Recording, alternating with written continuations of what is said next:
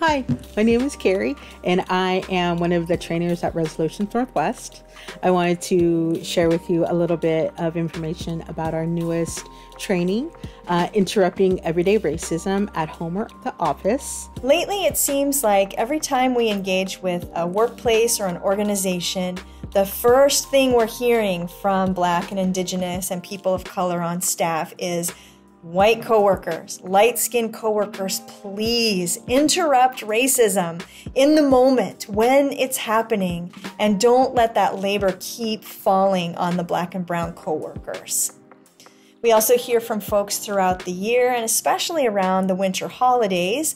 They know they're going to be attending family gatherings. They know that there are going to be conversations about race and racism. They're going to need to interrupt racism and they want the chance to build some skills and practice for doing that as effectively as possible. So, we have come up with Interrupting Everyday Racism. This workshop is designed to give you real time feedback and interruption. Um, you're going to learn some frameworks and um, do a lot of active participation. This workshop is open to everybody.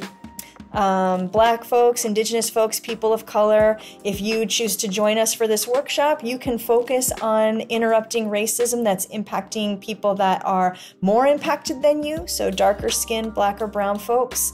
Um, one thing we will not expect you to do is to educate white folks about racism. Ideally, we want to see folks leave this workshop with the commitment and the will to go out and put this into action. So, hopefully, we'll see you there at Interrupting Everyday Racism. Thanks.